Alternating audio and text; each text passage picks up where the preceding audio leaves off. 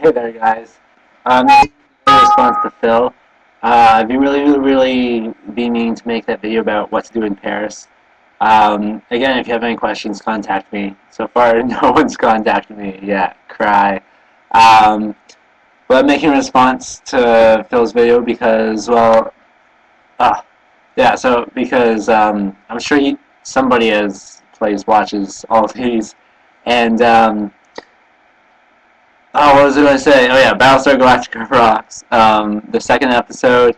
I really didn't like the miniseries, but I really enjoyed the first episode of the actual series, 33. So I can't wa- wait to see people's responses to that.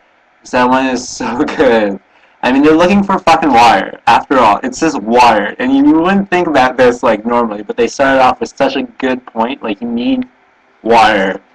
Um, that, um, well, what do I want to say? Uh, oh yes, I wanted just correct him on one thing, or not correct him, but inform him on one thing. I'm from Canada. I'm in Paris right now, but um, in Canada, the the seats furthest away from the from the rink are called the nosebleeds, and um, it's because that's where all the fights break out, and you'll get a bloody nose. Um, yeah, no, I just touched my nose there. I know. Anyways, uh, that's basically it. Um, all right, guys. Peace out.